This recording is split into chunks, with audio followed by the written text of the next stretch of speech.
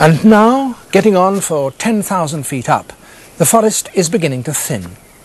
In summer there's not much rain here, for most of it has fallen at lower altitudes. In winter it gets extremely cold. Those conditions don't suit rhododendrons. Here only conifers flourish in large numbers. High there we are, the Kaligandaki is still a very broad river. Remarkably, and indeed mysteriously, it doesn't rise from the flanks of these giant mountains, but cuts right through them.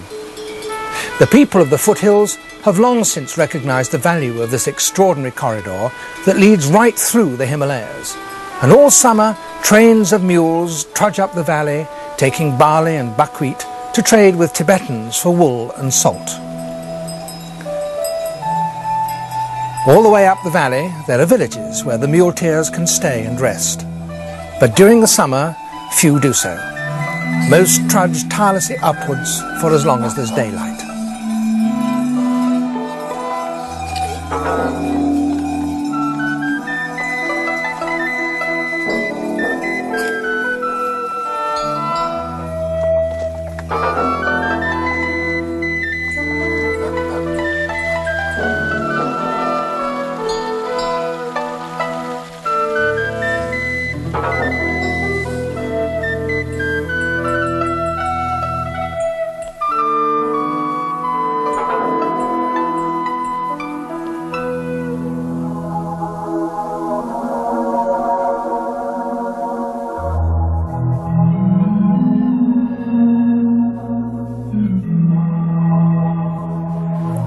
A lammergeier, the bearded vulture, a mountain bird that soars around the high valleys of Asia and still in a few remote parts of Europe, but nowhere higher than this.